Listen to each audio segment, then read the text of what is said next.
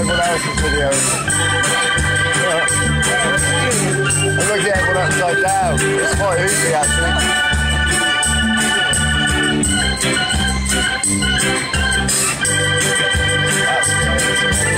Oh, mum, do that. It's, everything's upside Oh, down. no, it made me dizzy. It's really hoopy.